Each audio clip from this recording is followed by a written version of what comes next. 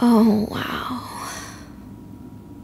This is Nora Vasconcellos' new truck. Nora. Now, this one is really, really beautiful, and I am so excited for this one.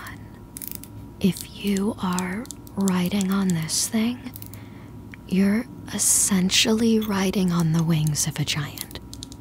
Those colors are so inspiring. Steel axles. You can see that the design is just totally original and I'd say Nora say yes to getting this one. Thank you guys. Thank you so much for listening. Don't forget to subscribe and like and comment below. Tell us which truck was your favorite.